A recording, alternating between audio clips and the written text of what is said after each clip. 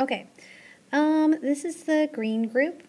For the green group, I noticed you did tippy, tippy, tippy, tippy, tippy, tippy, ta, which is a fine line. But there's one problem. Um, the I, sh I shouldn't say it's a problem. It's more of a just just giving you advice based on experience. When it comes to playing the tippy tippies, these are very fast notes, and I'm not saying you can't play them. I'm just saying it might be a better idea maybe to shorten it or just to put a long note in there uh, that will help help give you some breathing room. In other words, um, what I might suggest is let me see here. Let me suggest putting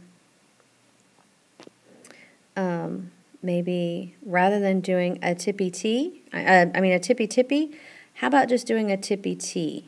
So you can do tippy T, tippy T, tippy T, ta. So it'd be F, F, F, E, E, E, D, D, D, C, or E, D, D, D, C, and E. Um, the reason why is because when you start actually playing it, it may be a little bit more challenging. And when you put this many notes together and more than one person is playing it, it may be a little, it may start sounding what we call muddy where you can't hear every single note. Okay? It's something to think about. Now, if you do the tippy t, tippy t, tippy t, ta, you open up your you open yourself up for some possible from for some other possibilities. You could have um, two notes playing at once. So you could have A and F together. All right, so you have that, and then you can do G and E. And then for the last one, you could do G and D. I wouldn't do F and D only because it would sound a little weird. And that way you could come back and start and, and land right on the E and the C. Um, or you could even change the E and the C to an E and a G. So those are some suggestions. Um, but other than that, I think this is a great line.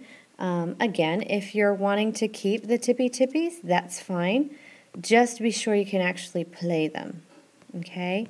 Um, or if, if, if, if you are going to keep them, have just one person play them. So it'll be like a nice colorful line. But I think that what you have here is a fabulous, um, the vegetable line or what we call a nice harmony. And actually, this is more of a lead, what we call a lead. So um, a lead is like a sprinkle on the top kind of thing. So this is more of a lead part. So whoever is your most skilled player would be able to play the 16th notes. If you're going to do the other uh, other other option with the tippy T, I would do I would call it a harmony line. All right? That's all I have to say for this group.